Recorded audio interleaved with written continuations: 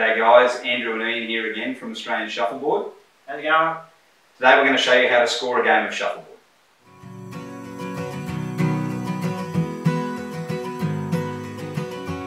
Okay, before you can score any points in Australian Shuffleboard, you need to slide a legal puck up the table.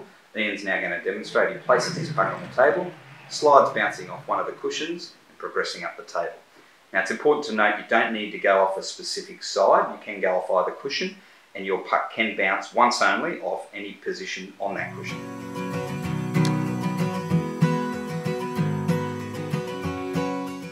We're now going to show you some versions of illegal pucks or foul shots. So Ian's going to pick up his puck and slide it directly up the table without hitting either of the cushions. Now in Australian shuffleboard that is considered an illegal puck and we remove it from the table and place it in the gutter at the end. Our second type of illegal puck or foul shot is where a puck hits both cushions. Uh, so Ian's going to demonstrate that now. In Australian shuffleboard, a puck that hits both cushions is considered a foul shot and we remove it from the table. Our third type of illegal puck or foul shot is where a puck may hit the side but doesn't make it over the foul line or the halfway line. Ian's going to demonstrate that now. So in Australian shuffleboard, a puck that hasn't reached halfway is considered a foul shot and we remove it from the table. We're now going to demonstrate what happens when a foul shot interacts with a puck in play. So Ian's going to slide one now. In this case, Ian's puck was a foul shot because it didn't hit either of the cushions. So what we do is we remove Ian's puck from the table and the red puck that has since been knocked off the table we replace as close to its original position as possible.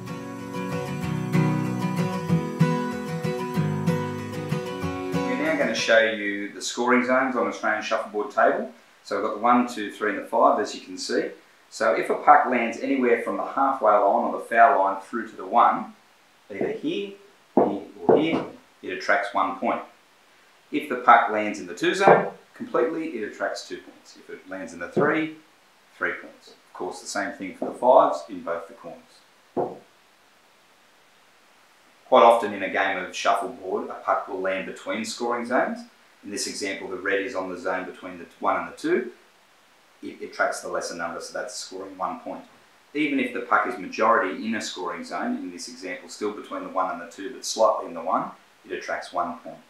Same thing again, if it's between the 2 and the 3 zone, this is a puck that scores 2 points. Again, between the 3 and the 5 zone, it attracts the lesser number and that this puck scores 3 points.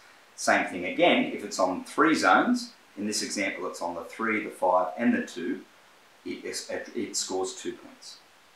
Sometimes in a game of Australian shuffleboard, a puck will slide right up to the end of the table but remain on the table and slightly hang over the edge. These are considered are called hangers.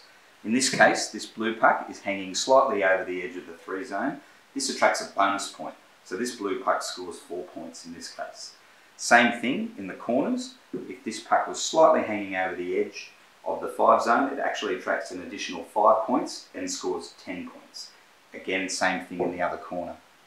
If a puck hangs over the edge of the 3 and the 5 zone but is still in the 3 zone, it's considered a, a puck that has landed in the 3 zone, attracts the 1 bonus point, this puck scores 4 points. If a puck hangs over the edge of the table in either the 1, 2 or 5 zone, it doesn't attract any bonus points and it's just the scoring zone that it resides in.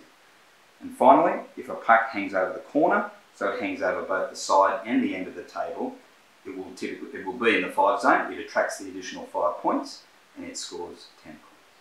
If a puck looks like it's a hanger but you're not sure, the way to test if it is, is once all eight pucks have been slid up the table for the end, we simply grab one of the dead pucks, we place it touching the uh, bottom of the gutter and the edge of the, of the playing surface and slide it up the table. If it hits, it's considered a hanger. If it doesn't, it's not considered a hanger. In this example here where we have two pucks of opposing colour both hanging off the end of the table, once the end's been completed, the way we work out which puck is ahead is by which puck is furthest advanced up the table. So whilst in ordinary play this red hanging over in the 5 zone would attract bonus points and score 10, whilst this blue puck would only score 4, the blue puck is further up the table than the red, so the blue puck attracts 4 points and the red attracts nothing. We're now going to play an end of shuffleboard, and then we're going to show you how to score an end of shuffleboard.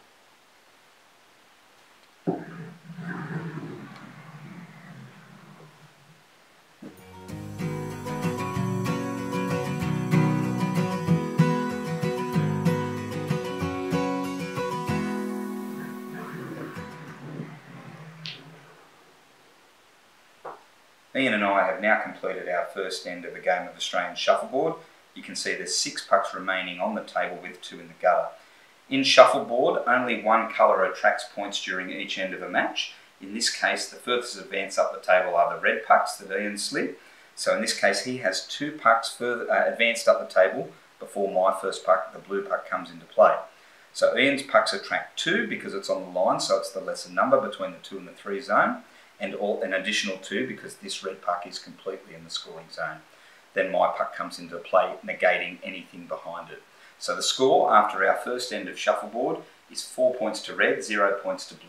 Just to show you another example with um, variations on scoring. So if I, if my blue puck wasn't in play and was in the ditch, the score would be a lot different after this first end. So we still have our two on the line, we still have our two completely in the zone, but then we also have these pucks come into play, the one and the one, because they're in the one zone. My puck remaining on the table is uh, behind those Ian's four reds. In this case, the score would be six points to red, zero points to blue. So now we've shown you how to score a game of Australian shuffleboard. Make sure you check out our website, australianshuffleboard.com.au for more resources. We do have our how to score posters up there that you can download and make sure you subscribe to our other videos. But from Ian and I for the moment, enjoy your shuffleboard and happy shuffling. See you later. Thank you.